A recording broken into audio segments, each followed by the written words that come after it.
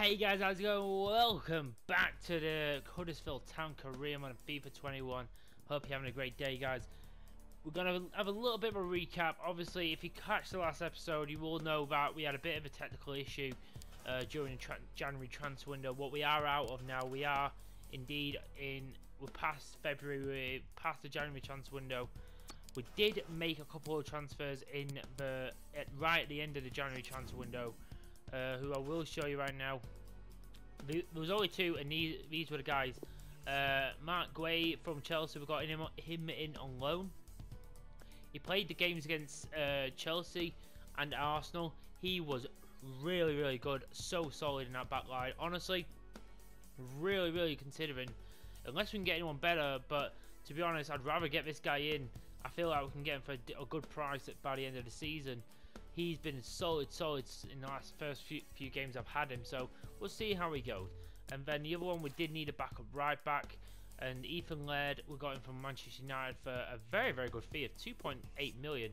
He's actually worth 4 million now. He was um, 78 when we started. We converted to a right back. He should be a pretty good right back um, backup for Pipa. And just a little bit of um, notes as well.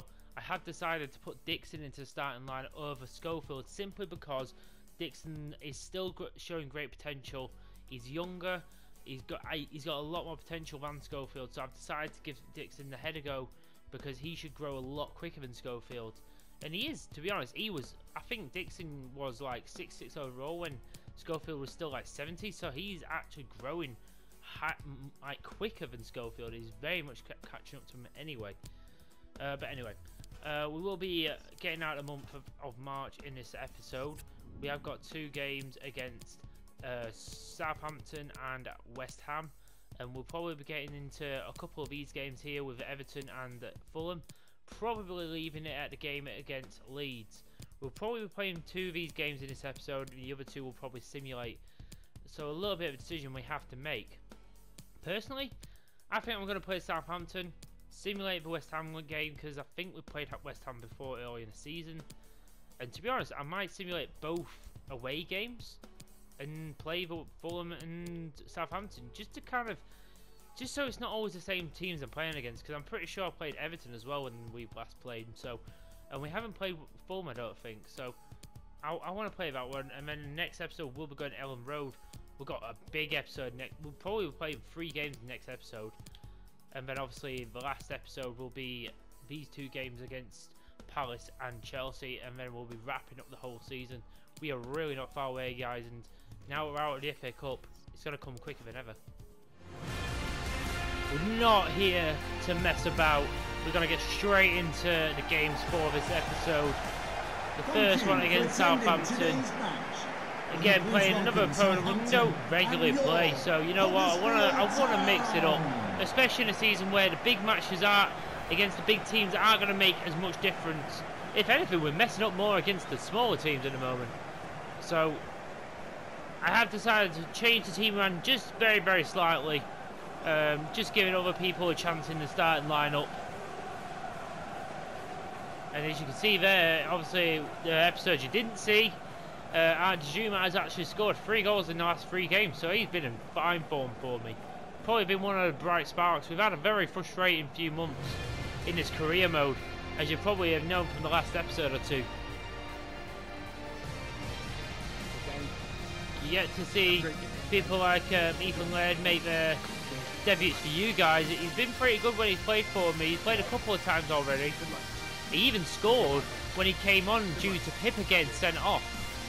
Um, he had to come on he actually scored with his first touch. He was absolutely unbelievable, but so bad that you didn't get to see that. But anyway, Dixon is making his official first starting 11 where he's officially in the starting 11 for good. Uh, obviously, Ethan Laird is in there. Matsima and Mengi come in with Tofola still in there. Uh, Fernandez comes in for O'Brien. And uh, the rest are the same. Lauretsen's on the bench. The youngster who's come through our youth academy is on the bench. Thank you. Growski in goal. Game. Badiashile have got in there. Vokins, who's one of their youngsters. Grace Mendez, not too familiar. Thomas Delaney is in there. Kangin Lee, who's um, a very, very good prospect. I know in career mode. So a very, very interesting team. Will be a test. Let's hopefully get up to us with a brilliant win against Southampton.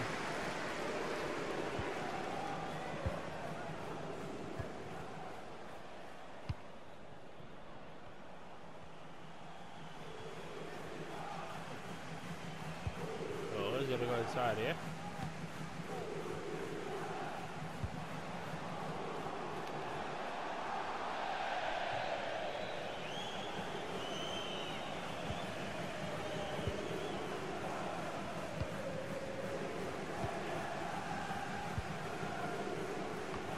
Oh, maybe he gets ahead of her.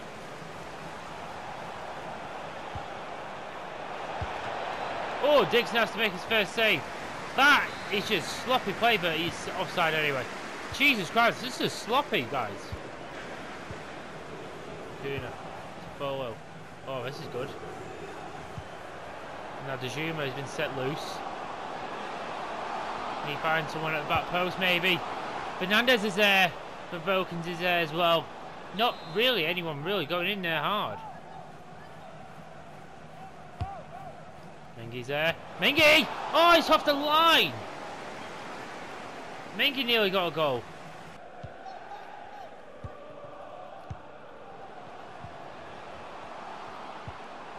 Fernandez, good run off. And now, Ivan Toney. Ivan Toney! Ivan Toney! Oh! Oh, bro, we can't put it in. And we can't make the most of it. Che Adams is on the ball right now, but Matt Seamer is there. Going out of the starting lineup since Squay came in, but oh, is he onside? Please be onside. Oh, he's been bundled in by I think Brian Brobbey.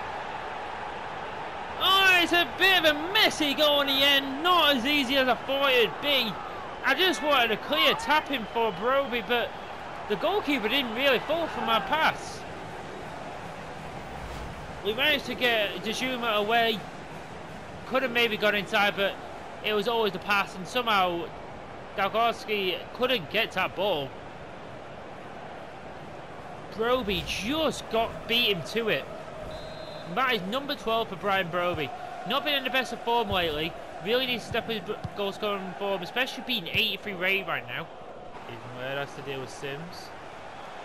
And he does.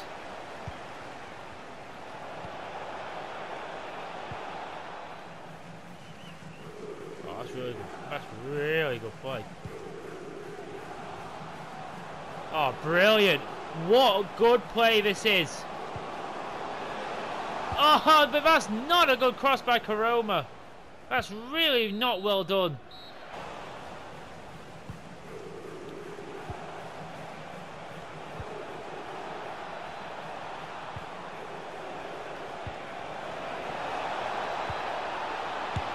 Oh, Dixon with a big save. Oh, thank God Mendes took that first time. He definitely could have took more of a chance, a bit of a touch there. He didn't, thank God. Gave Dixon enough time to, to react. Number six, Oh my God, what a block! Is that Mengi who got a touch on that? Again, it's Mendes. Who is that? It is Mengi. What an instinct block.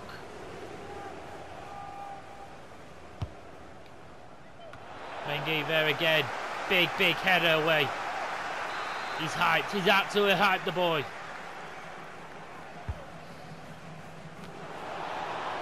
I think, oh, I did come off. I think Delaney. That'll do us. Again, that is just a warning. They are really coming in tight on us.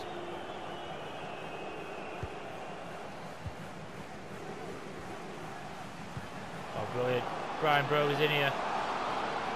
Brian Brobbey sets up Aaron Tony! For number two, we make use of it this time. That's a much better sweep. An absolute sweaty goal. Ivan Toney gets his goal today. He's not had many chances. But finally, Brian Brobbey gets on the shoulder of Badiashile. Toney has the pace on Sal Salisu. And he's just got an absolute laser about it. No chance for the goalkeeper. Number two, and that, I'm hoping, should start putting a bit of a dent in Southampton's comeback.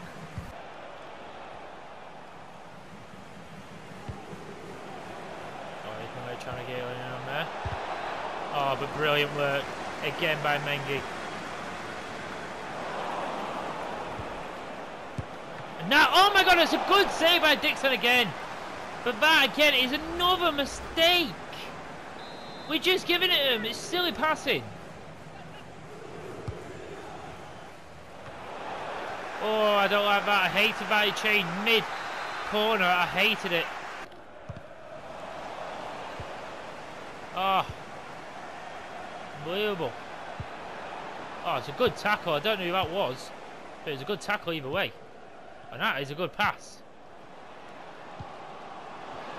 Now Ivan Toney has loads of room. He can just finish us off here. He drills it and it goes wide. The drill one, this used to be the shit in like FIFA 19 or 18. I just remember everyone went low and it used to always go past the keepers. Now, if you try it, it goes so wide. How? Why? Let's bring the wingers off, freshen it up. Give Rowe and Loretton a go for the last uh, five minutes.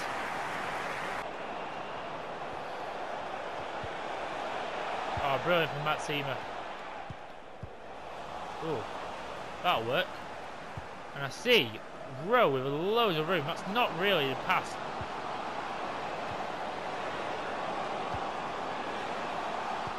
It's not the pass I was looking for. But Loretton's in. Loretton! Oh, what a moment by the 16-year-old! He's come on to score his first Huddersfield Town goal. I hope his first of many. Oh, come on. Get in there. I'll take that. He comes on. That's one of his first attacks. And he does that. He produces. That is a really good finish as well. Powerful into the corner. And he makes it free right on 90th minute. That's his first Premier League goal as well. Take a bow, Loretton. You're beautiful. That's just the start of something beautiful. And it should be uh, seconds away from the final whistle. Oh, four minutes added on. Jeez Christ, I didn't know it was so much at a time.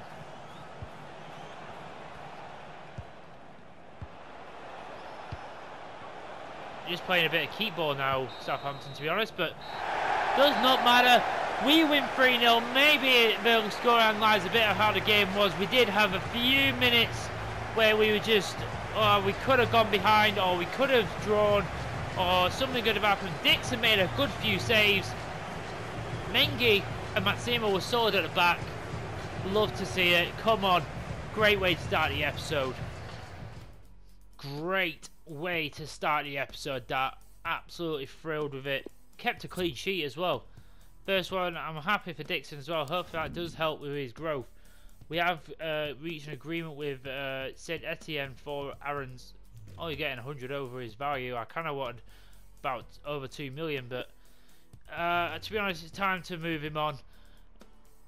As a great example, Loretton's coming through. He's growing like a madman. He's up to 62 already. He started at I think like 59 at the start of the season. He's already grown quite a few, so you know what? I'm really happy with him. Uh, we've got a couple of position plays. Don't know if he's going to change much. Nah, he's still at still a 55 lamp, but got plenty, plenty of young lads. Uh, got speaking of youngsters, uh, Lamb and Great Granger want to get promoted. Um, could definitely promote him. I don't think they're going to be playing that much, but I'm probably going to try and get him out on loan, to be honest. See, this kind of guy, 18 years of age, 65 overall, this guy is can be a massive, massive player for us going forwards. Same with his Parkinson guy. Farmer, I think he could, with the fact he can play both sides as well, he, that, that could be a very, very good thing for us. We have a lot of good wingers coming through at the moment. The one thing what is very rare in FIFA is definitely strikers. They are very rare to find really good strikers in this game. So we are coming up to our second game. What is against West Ham? What is a game I'm going to be simulating? We have, um, pretty sure we've played these guys before. So um, this is a game I'm going to simulate. Going to hope for the best. The last game went well. Wonder where this is going to go. Okay. I'll take it. It's a, it's a one-all draw. Getting a point away is not an easy feat, especially a team like ours. So, I'll take it. Um, Everton is another one we're going to simulate. They are quite low in the table. They look so different. But I'm not going to take them lightly. I'm hoping we can get the job done. I'm hoping, but again, it's a away game. Worried about it, but but we get a win. Come on. Oh, thank the Lord. We're getting a few good results for sim games now. About time. We get a 1-0 win with Brobbey getting the goal. Wow. I've got to say, three games in, and Dixon has been getting so many good results. So many good ratings. I'm really happy for the lad. Maybe that's been the final piece. Maybe I should have been playing him all along in, in the starting 11 all the time. But either way, there we are. We're at the final game of the episode. Uh, because we will be finishing up on this game against uh, Fulham. We could really, this will be a really good episode. Thinking we beat Southampton, we got a draw against West Ham, who are a pretty good team. We won against Everton. If we can get a win against Fulham, who who are quite low down, what a way to! It'll just give us that big, big boost going into this last like month and a half of the season. We could really solidify ourselves into that top 10 spot. That's what I'm hoping for. That'll be a good season for me if we can finish top 10 that means that's something really good to build on that for next season. So for this last game, let's have it. Let's go, guys. Absolutely zero, nada changes to the side. Our best starting lineup out there. I kind of want to finish the season strong, so there'll be a few games where I change things around, but not absolute lows. I want to try and have the best end to the season possible. Let's have it.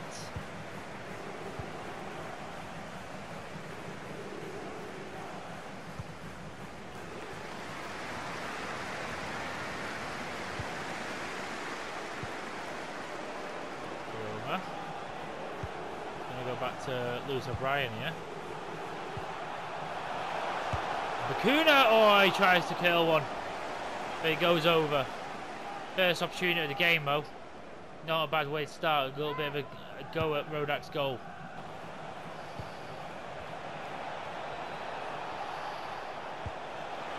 Oh, Wellington. Kind of did Pipa there. Ignacio's coming over. Ignacio does enough. Bacuna's never going to get yellow card for what he did before.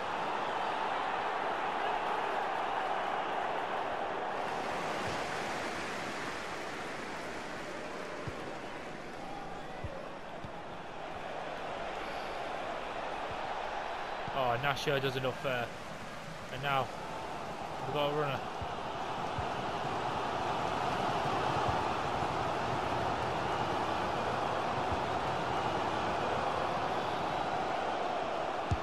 Brobbey. He's going to curl one. Roda has to make an outstanding save. That came from absolutely nowhere, that. Brian Brobbey just picked it up. Everyone was going off him. Oh, so close. That was an absolute belter of a shot. Ivan Toney. Ivan Toney! Oh, he's come off the post.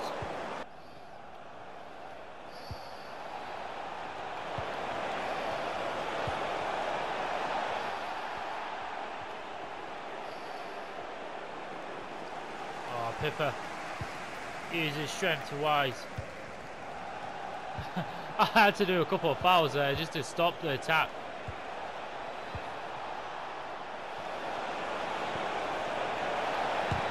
Oh, what, what an absolute outstanding tackle by Inacio. That is absolutely world class. And that is a good, good pass by Brobbey. Now Ivan Toney Getting surrounded, I had to take the shot.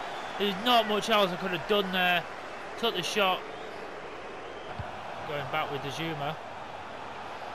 Brian Brobbey. Can he maybe get away? No, he can't. Fuck's sake, Lamar Sean. Fuck you, dude. He's just been fucking on Brobbey's ass all day. Oh my god! You little pussy!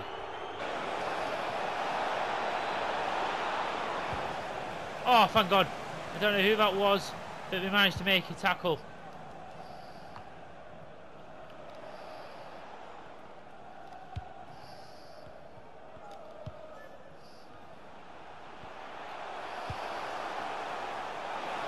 Oh, Fernandez! Fernandez, shoot! Shoot! Oh my god! What the fuck? They're just somehow always getting in the way of these fucking players.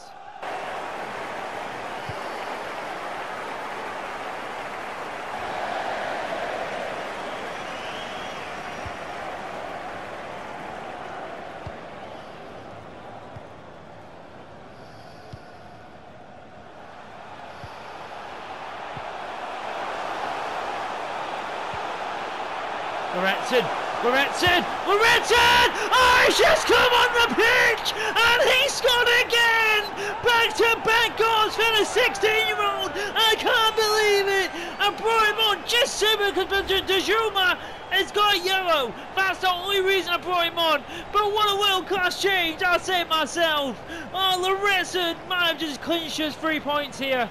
And again, it's such a cool finish by the lad. He's 16 for Christ's sake and he is taking this team by storm. He's got on the suspension, he's working his way up. That's his second Premier League goal. His first weren't as poor in his second. He'll always remember this one. At the home fans, come on. Holy shit, in the 90th minute.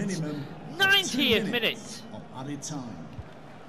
We can't break him down but Goretzka made a great, great tackle. Well, he made a great run, should I say.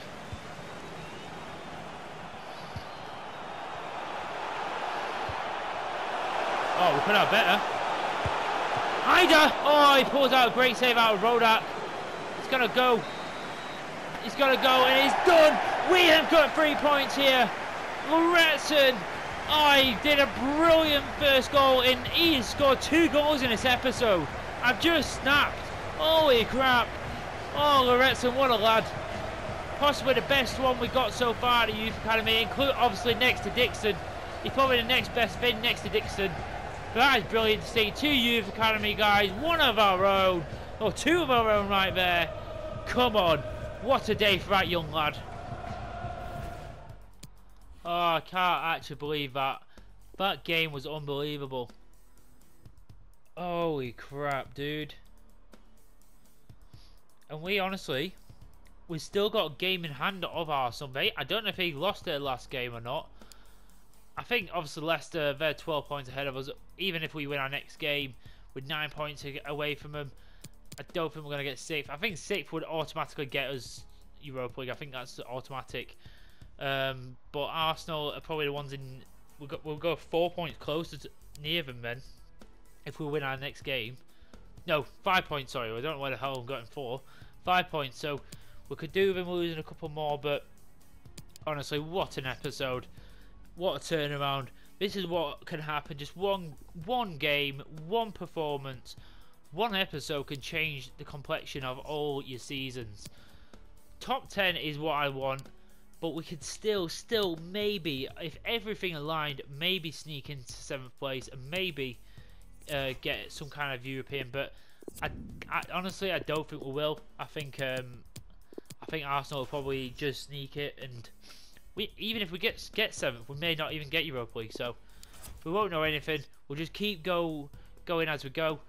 We have got Leeds in next episode. Um, I will be playing it because it is at Elland Road. It is our rivals. Um, I will always play them. Sometimes I will simulate, but especially in this first season, we get to play them. I will play them. Uh, they always seem to be interesting games as well, so I'm very, very excited with it, with the way this career mode is going, and I'm really excited the way the season's going to end. Even though we're not going for any trophies, it's such an exciting season. Every game's different. We're fighting, we're scratching and clawing for results. I kind of love it. It makes the career mode just so worth it.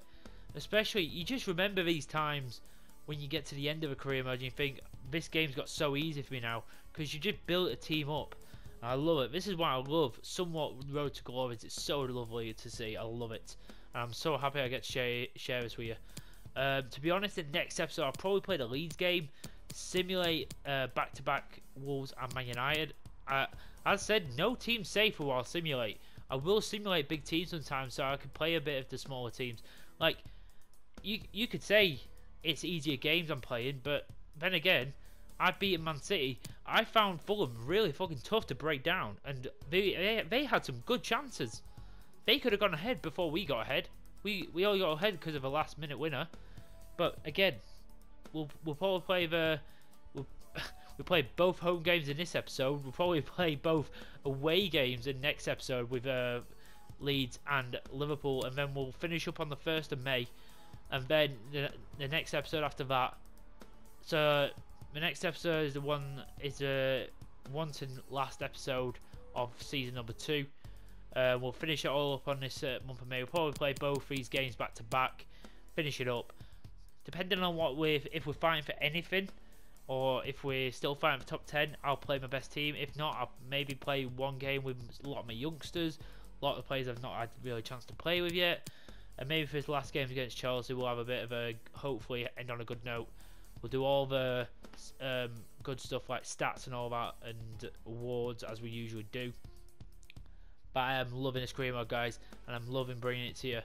There's so much more to come. This is just a start. Honestly, I'm hoping to do this for a good number of seasons. This is going to be the last career mode until FIFA 22, so we're going to be doing this for a while. And I think it's just it's going to be a while before we get major, major competitions, and I want to go big on the trophies. I want to try to even try and eclipse what I did with Salford City Trophy. So we'll see what happens. But until then, guys, thank you so much for watching. Don't forget to like and subscribe. Until next time, I'm out.